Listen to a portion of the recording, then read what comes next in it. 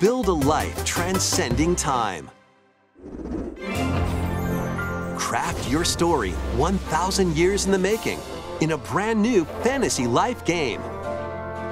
This once thriving island in the seas of Reveria now stands deserted.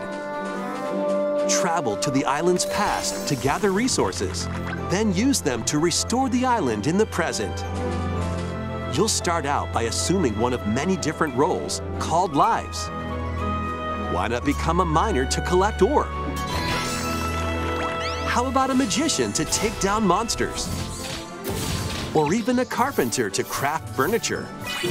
You can swap between these lives and many more as you rebuild the island. As you travel through time, you'll gradually uncover truths about your new island home.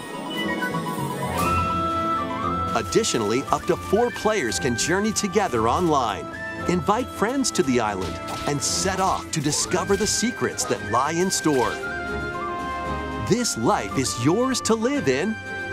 Fantasy Life I, The Girl Who Steals Time, launching on Nintendo Switch October 10th.